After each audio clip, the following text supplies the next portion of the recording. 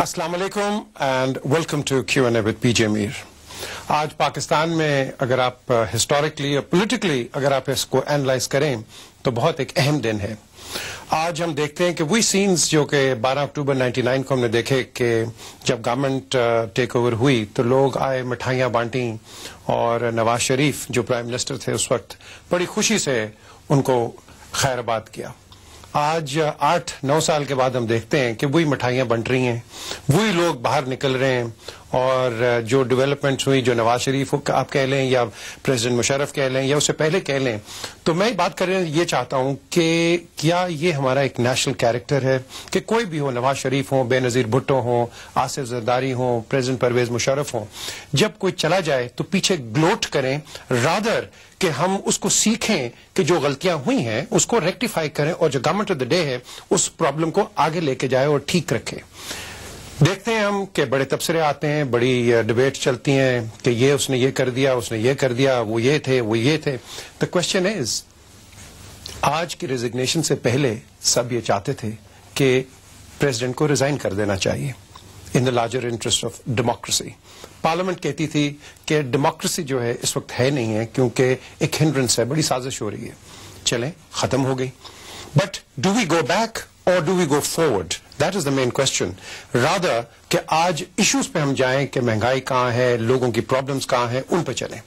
बहरहाल इस पर बड़ी डिबेट्स और होंगी, हर किस्म की कंस्पेरेसी थेरीज निकलेंगी, और वो कहते हैं कि बड़े बड़े वो जो कीड़े होते हैं, लकड़ियों से निकलते हैं, बाद में जब कोई चला जाता है, उस पर हर किस्म के एक बहस चलती है, और ये भी चलेगी। दोनों तरफ़ से प्रोज एंड कॉन्स होते हैं। फिर हम देखते हैं कि जब नवाज़ शरीफ गए थे तो मीडिया का क्या रोल था, और एक डेमोक्रेटिकली इलेक्टेड लीडर उसको इतना खराब किया था कि मीडिया उस वक्त टोटली बायस्ड हो गया था। आज हिस्ट्री देखें रिपीट किया है कि again the media has been biased story दो साइड की होती है एक साइड की नहीं होती। है wrong right but the story represents both the sides and one has to be fair and totally impartial बहरहाल, इसमें भी और बात होती है, लेकिन आज मेरे साथ यहाँ मौजूद हैं leader of the opposition former chief minister Punjab Chaudhry Pervez Elahi ये प्रेसिडेंट मुशरफ के बड़े सपोर्टर थे। आज इनसे मैं काफ़ी सवाल करूँगा इन डेप्थ के सबसे पहले उनके जाने से आप क्या फील करते हैं, परवेज साहब, के डू यू फील कि ये सही डिसीज़न था, गलत था, क्योंकि आपने हमेशा उनको डिफेंड किया? का जो डिसीज़न था और आज जो डिसीज़न उन्होंने लिया है, ये मैं समझता हूँ कि एक सच्चे पाकिस्तानी के तौर पर और कौमी मफाद को नज़र में रखते हुए इन्होंने इस्तीफा दिया है।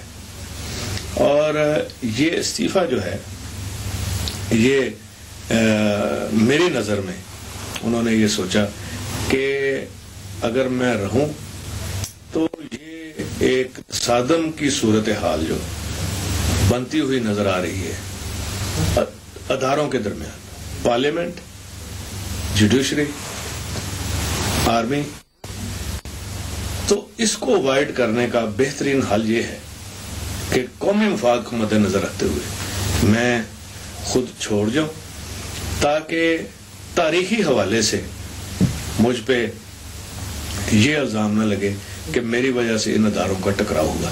हालाँकि उन्होंने इलेक्शन फेयर एंड फ्री कराए और इकतदार हुक्मरान इतिहाद के हवाले किया और उनको हर तरह की सपोर्ट देते रहे।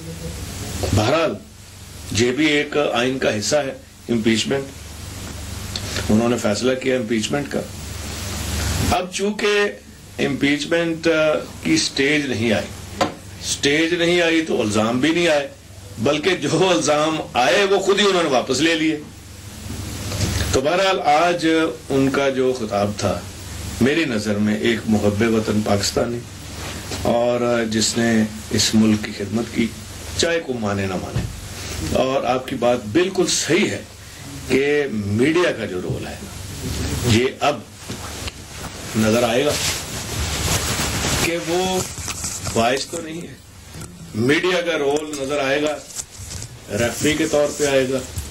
मीडिया का रोल जो है वो नज़र आएगा कि वो अब कौम को आ, क्या उम्मीद देना चाह रहे हैं। और बगैर पार्टी बने। ये बड़ा इंपॉर्टेंट मेरी नज़र में मीडिया का रोल आने वाला है और उन पर यह ज़िम्मेदारी आ रही है। अच्छा परवेज साहब अब एक आप कह लें कि पोलिटिकली एक नया चैप्टर हम खोलते हैं, एक नया सफ़ा। अब इस नए सफे में, क्योंकि हमने पहले देखा कि कोई भी पॉलिटिशियन कहीं भी ले लें ऑन रिकॉर्ड है न्यूज़पेपर्स ले लें टेलीविज़न ले लें, हर जगह देखें, हमेशा प्रेसिडेंट परवेज मुशरफ को एक टारगेट करते थे कि इनकी वजह से ये नहीं हो रहा okay he is of the picture what next हाँ ये बड़ा अच्छा सवाल है। आप देखें जी, अब तो जो सबसे पहले जो होनी चाहिए बात, वो ये है कि जजेस बहाल हो जाने चाहिए। अब क्या रुकावट है? हर चीज़ की ज़िम्मेदारी मुशरफ साहब के ऊपर कुलेशन जो है, ये लगाता रहा। सबसे पहले तो जजेस बहाल होने चाहिए। उसके बाद आटा जो है, ये सस्ता हो जाना चाहिए। दालें सस्ती हो जानी चाहिए। तेल सस्ता हो जाना चाहिए। और जो मुशरफ साहब ने बिजली रुकी हुई थी, बंद की थी, वो अब आ जानी चाहिए। और फौरी तौर पे कल से खुशहाली का एक नया दौर जो है बकौल इस कुलेशन के, वो आवाम को नज़र आना चाहिए। प्रोफेसर साहब एक और जो चीज़ है कि एक आम आदमी पूछता है कि चले रिकन्सिलियेशन हुई, घर में लड़ाइयाँ हो जाती हैं, हर जगह होती हैं। अगर एक रिकनसाइल हम करते हैं, लेकिन रिकन्सिलियेशन नहीं हुई कन्फ्रंटेशन हुई, अब कौन कहाँ फेल हुआ है? देखिए जी रिकन्सिलेशन के हवाले से मैं ये कहूँगा कि इस हद तक सदर साहब गए एनआरओ उसके सामने मिसाल है, और सारे केसेस जो स्विट्जरलैंड में, यहाँ पे, ये मुशरफ साहब ने नहीं बनाए थे। ये दोनों ने एक दूसरे के खिलाफ बनाए थे। मियाँ नवाज़ शरीफ साहब ने मोहतरमा बेनजीर भुट्टो साहिबा के ऊपर, जरदारी साहब के ऊपर और इन्होंने नवाज़ शरीफ के ऊपर। दोनों ने एक दूसरे के खिलाफ केसेस बनाए। लेकिन मुशरफ साहब ने वो केसेस खत्म करने के लिए और वो माहौल बेहतर करने के लिए सबको कन्विंस किया। हालाँकि हमारी पार्टी जो है, ये बिल्कुल नहीं चाह रही थी कि ये एक्ट ऑफ़ पार्लियामेंट हो। इसलिए ऑर्डिनेंस करना पड़ा। और उस हवाले से भी बड़ी मुखालफत हुई।